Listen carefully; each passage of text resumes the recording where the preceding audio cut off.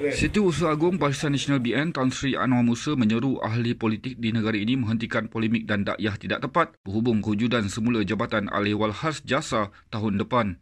Anwar berkata dia percaya Kerajaan Perikatan Nasional PN akan mengembalikan jabatan itu dalam bentuk wajah baru malah mungkin menggunakan nama lain.